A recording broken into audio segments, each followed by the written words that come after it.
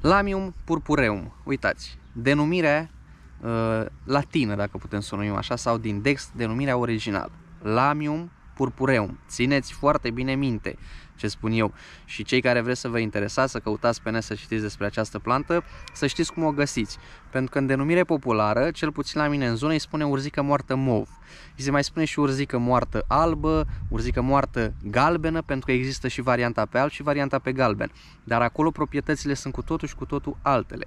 Deci urzica moartă mov, din această plantă, putem extrage crema de varice care este o cremă foarte puternică și cu ajutorul căreia s-au tratat foarte mulți oameni care au avut probleme cu varicele și cu circulația sângelui în general. Urmăriți vlogul de astăzi și o să vedeți despre ce este vorba.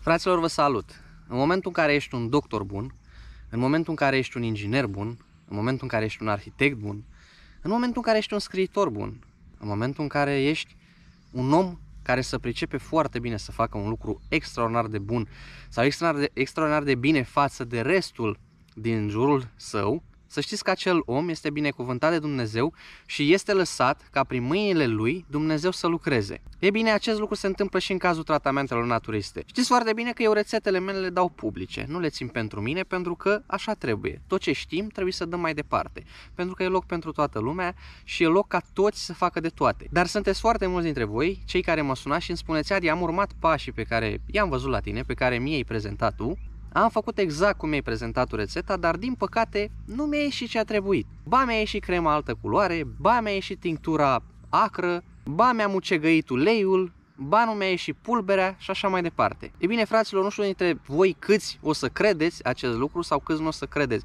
sau câți o să-mi dați dreptate și câți nu o să-mi dați dreptate.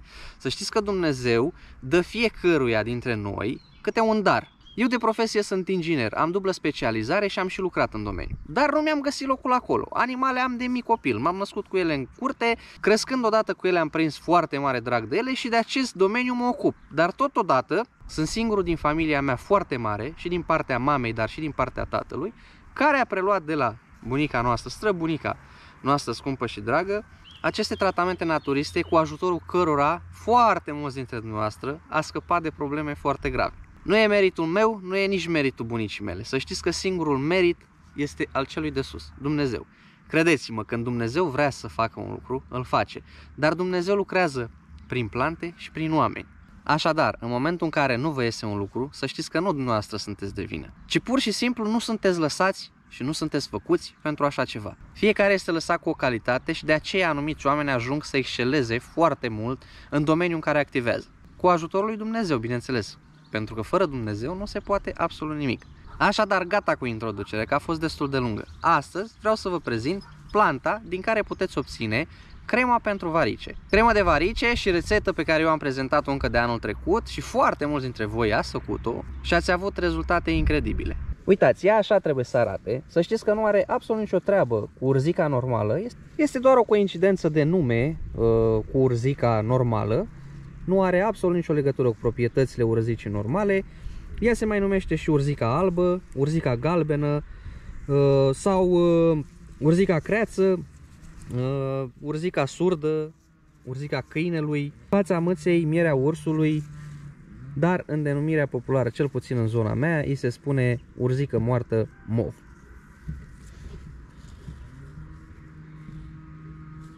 Uitați, uh, nu știu cum să apropiu eu ca să vedeți dumneavoastră foarte bine, dar uh, pentru cei care chiar nu o să observ sau chiar nu își vor da seama cum arată uh, din vlogul acesta, căutați pe internet Lamium purpureum sau urzica moartă mov. Deci am decis să fac acest vlog acum. În zona mea, fiind o zonă de munte, vedeți, ea este crescută. Este aproape ajunsă la maturitate. Dar în anumite zone din țară, cu siguranță este crescută de foarte mult timp și perioada potrivită în care se recoltează. În general, plantele au o anumită perioadă în care putem să le recoltăm, să putem să extragem proprietățile de care avem noi nevoie pentru tratamentele pe care dorim să le facem din plantele, rădăcinile, plantele, frunzele sau florile respective.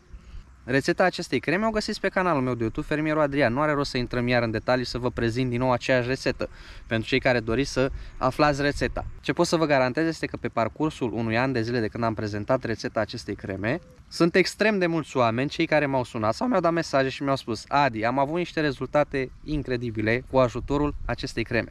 Această cremă este pentru uz extern. Pentru cei care aveți probleme cu circulația sângelui sau sânge îngroșat și de acolo provin varicele, că în cele mai mari, cele mai multe, pardon, situații, varicele apar de la statul foarte mult în picioare și din cauza circulației sângelui. Vă recomand să beți ceai din rădăcină de urzică uscată, nu crudă. Trebuie pusă la uscată, se recoltează toamna, o să ajungem la toamnă și acolo și vă prezint eu tot ce trebuie să știți. Dar până să ajungem la toamnă, că mai avem mult timp până atunci, începe să adunați urzică moartă mov, faceți crema după rețeta mea de pe acest canal și începe să, să administrați. Cum am spus-o de fiecare dată și de atâtea ori, tratamentele naturiste trebuie administrate sau urmate pe perioade lungi de timp. Adică să nu vă așteptați ca după 3 zile să aveți rezultate incredibile. Trebuie să ne tratăm destul de mult timp. Eu am recomandat personal, cel puțin și prin cărțile specialitate așa se recomandă, minim 3 luni de zile, indiferent de tratamentul naturist pe care îl administrez. După 3 luni de zile, tragem concluzia. M-a ajutat sau nu m-a ajutat? Proprietatea din această plantă cel mai bine se extrage sub formă de cremă se poate face și ceai din ea. Dar sincer, când se usucă, puteți să adunați și o să vedeți că am dreptate în ce vă spun, se usucă și se scutură foarte rău. Deci floarea se scutură foarte rău, rămâne un băț și nu mai există nimic, nicio proprietate în acest băț ca să putem să facem ceai din el. De aceea se face cremă și crema se administrează când dorim și cât timp dorim, pentru că nu expiră, pentru că se pune ceară de albine. Dar rețeta o găsiți pe canal. Bun, pentru cei care aveți întrebări, lăsați în secțiunea de comentarii întrebări, știți foarte bine că eu răspund tuturor. Pe WhatsApp mă găsiți la 0766856953 și din nou răspund la întrebări și acolo, orice detalii, cu tot ce pot să vă ajut, vă ajut cu cel mai mare drag. Fiți mai buni că nu aveți nimic de câștigat dacă sunteți uh, doar pentru voi, ca să spunem așa, sub o formă plăcută pentru toată lumea cu Dumnezeu înainte, orice s-ar întâmpla, toți păcătuim, toți avem greșeli, uh, nimeni nu e perfect, dar încercați să vă aduceți aminte în fiecare zi că e cineva mai sus decât noi care vede absolut tot ce facem și în funcție de ceea ce facem, mai devreme sau mai târziu, o să ne răsplătească. Sănătate multă, toate cele bune și Doamne ajută tuturor. În curând vor veni vloguri noi, mai ales pentru împătimiții și iubitorii tratamentelor naturiste. Vreau să vă prezint și în curând o să vă prezint niște rețete de tinctură și cremă, care cu siguranță, din momentul în care o să vă prezint rețeta, nu o să vă mai lipsească în casă acele tratamente, pentru că sunt pentru niște probleme destul de grave, iar uh, cel puțin pe internet, atât cât și în instituțiile de specialitate, dacă putem să le numim așa, nu o să găsiți rezolvare. E o chestie destul de simplă, cel puțin studiată de mine de cel puțin 15 ani și am ajuns să am niște rezultate foarte bune în urma administrării acelui tratament și vreau să-l dau mai departe, să-l primiți și dumneavoastră. Toate cele bune, sănătate multă, Doamne ajută. Adunați urzica moartă mov, pentru că acum este perioada în care trebuie să o adunați, să faceți crema de varice, să o aveți în casă.